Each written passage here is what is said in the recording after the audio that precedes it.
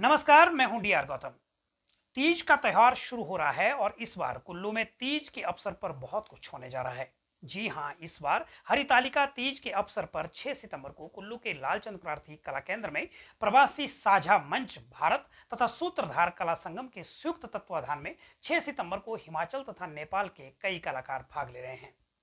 कुल्लू में आयोजित पत्रकार वार्ता में प्रवासी साझा मंच के सदस्य तथा सूत्रधार कला संगम के अध्यक्ष दिनेश सेन ने मीडिया से रूबरू होते हुए कहा कि ये कार्यक्रम अपने आप में बेहद खूबसूरत होगा, क्योंकि इसमें कई नामी कलाकार विशेष रूप से भाग लेंगे।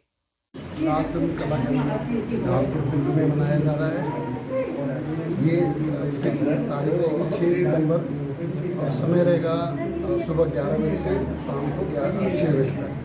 और इसमें नेपाल से काफ़ी कलाकार बुलाए जा रहे हैं। इनमें से जो जो अच्छे कलाकार या उस आयोजन के लिए जो आएँगे और आशा बीसी जी आएँगे और चंद्र शर्मा जी आएँगे।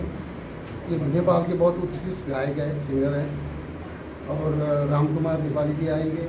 साथ में जो मेन अट्रैक्शन है एक कल्चर एक्सचेंज का। नेपाल का जो कल्चर इंस्ट्रूमेंट जो ट्रेडिशनल इंस्ट्रूमेंट वो प्ले करेंगे, उस टीम का नाम है सिंधुली कलाकार।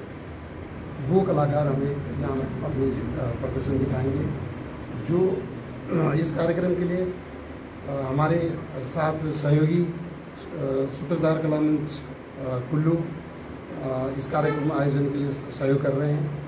उनके सहयोग से हम इस कार्यक्रम को व्यापक रूप से और अच्छे प्रवासी मंच के सदस्यों ने मीडिया को जानकारी देते हुए बताया कि प्रवासी साझा मंच एक समाज सेवी संस्था है जो पिछले कई वर्षों से संस्कृति संरक्षण के साथ साथ कई तरह के अन्य समाज सेवा के कार्य भी कर रही है। हमारी संस्था प्रवासी साझा मंच ये संस्था समाज सेवा का काम और खासकर नेपाली कम्युनिटी के अंदर जो विकृत रूप अभी चल रहा है कई जगह, उस चीज़ को थोड़ा गाइड करें, मार्गदर्शन करने का काम।